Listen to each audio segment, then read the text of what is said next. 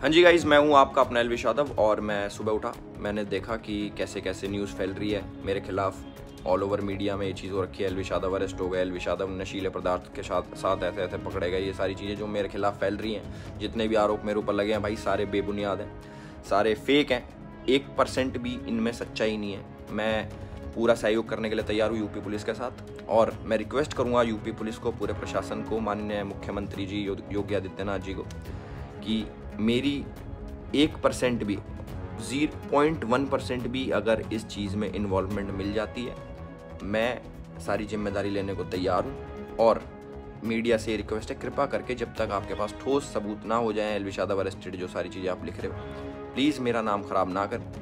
और ये जितने भी इल्ज़ाम लगे, इनसे मेरा कोई लेना देना नहीं है, दूर दूर तक, सौ मील तक मेरा कोई लेना देना नहीं अगर ये प्रूव होते हैं तो मैं उसकी ज़िम्मेदारी लेने के लिए तैयार हूँ। फ़ेमस यूट्यूबर और Bigg Boss O T two के विनर एलविश यादव मुश्किल में फंस चुके हैं। रेव पार्टी में सांप के जहर की सप्लाई करने में लगे इल्जामों के बीच कई दिनों तक लुका छुपी का खेल खेलने के बाद आखिरकार यूपी पुलिस के सामने आ ही गए।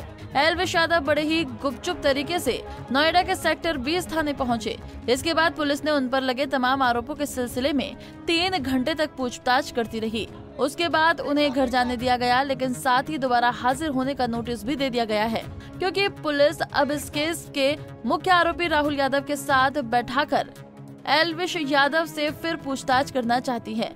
खबरों के मुताबिक आधी रात के करीब एलविश यादव अपने साथ वकीलों की पूरी टीम के साथ सेक्टर 20 थाने पहुँचे थे। इस दौरान नोएडा पुलिस के डीसीपी और एसीपी रैंक के अधिकारियों ने उनसे सवाल जवाब किए। इनमें सांप के जहर की सप्लाई और रेप पार्टी से जुड़े कई सवाल थे। मसलन, उनसे उनके वीडियो भी दिख रहे सांपों। इस केस के मुख्य आरोपी राहुल यादव से मुलाकात, पार्टी में विदेशी लड़कियों के आने का ज़रिए। मेनका गांधी के एनजीओ से संपर्क, उनके फ़ोन पर हुई बातचीत आदि के बारे में लगातार सवाल किए गए। नोएडा पुलिस ने उनके कॉल लॉग और पिछली लोकेशन के बारे में जानकारी हासिल करने के लिए उनके मोबाइल फ़ोन से डेटा भी मांगा है। फ़ेमस यूट्यूबर एलविश यादव से पुलिस ने किए गए दस प्रमुख सवाल। आपके खिलाफ जो आरोप लग रहे हैं, उनके बारे में क्या कहना चाहोगे? आप वीडियो में दिख रहे सांप कहाँ से आए थे? वीडियो में दिख रहे सांप को लेकर कौन आया था? आप उन सांपों के साथ पोज क्यों दे रहे थे? क्या आप राहुल यादव, टीटू नाथ, जयकरण नारायण और रविनाथ को जानते हैं? क्या इन पाँचों लोगों से आपकी कभी मुलाकात हुई है? आप राहुल यादव के संपर्क में कैसे आए थे? पार्टी में विदेशी लड़कियों को लेकर कौन आता है और क्या आप उनको जानते हैं? क्या एनजीओ के लोगों की कॉल आपके पास आई थी? क्या आपने उन लोगों को राहुल यादव का मोबाइल नंबर दिया था? सोशल मीडिया के ज़रिए शोहरत की बुलंदी पर पहुँचे अलविश यादव का ज़िक्र इस केस में आने के बाद से ही सनसनी मची है। जानवरों की भलाई के लिए काम करने वाले एनजीओ पीपल्स फॉर एनिमल की एक टीम काफ़ी दिनों से इस फिराक में थी, क्योंकि एनजीओ को खबर मिली थी कि दिल्ली एनसीआर में कुछ ऐसी रेव पार्टीज़ भी होती हैं, जहाँ अमीरजादे नशे के लिए सांपों के जहर तक का इस्तेमाल करते हैं चूँकि मामला बेहद संगीन था। पीएफए ने इस मामले से जुड़े सबूत जुटाने शुरू किए। इसी कड़ी में प्लान किया गया, जिसके तहत एक स्टिंग ऑपरेशन किया गया। इस ऑपरेशन में एक एजेंट ने खुद को मशहूर यूट्यूबर एलविश यादव का खास आदमी बताया था। एलविश यादव का नाम लेने के बाद वो किसी भी रेव पार्टी के लिए सांप और उसके जहर की खेप के साथ हाजिर होने को भी तैयार हो गया। इतना ही नहीं, एनजीओ के कार्यकर्ताओं के बुलावे वो एजेंट न सिर्फ़ एक साथ अलग अलग किस्म के नौ सांपों को लेकर, बल्कि 20 एम स्नैक, वेमन, यानी कि सांपों के जहर के साथ ही हाजिर हो गया।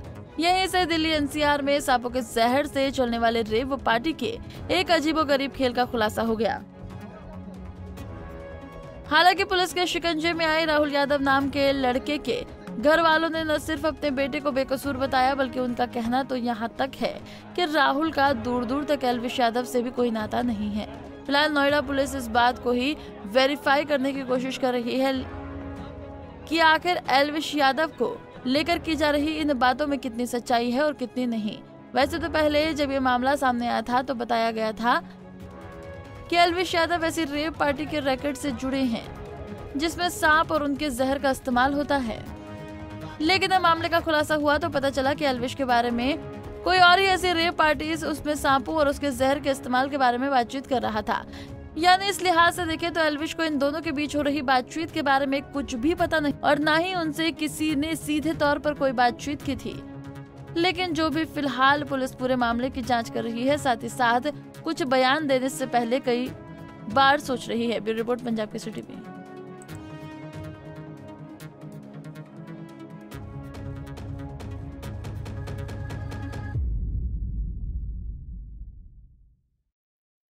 हमसे जुड़े रहने के लिए हमारे YouTube चैनल को सब्सक्राइब करें और नई वीडियो की नोटिफिकेशन के लिए बेल आइकॉन को दबाएँ।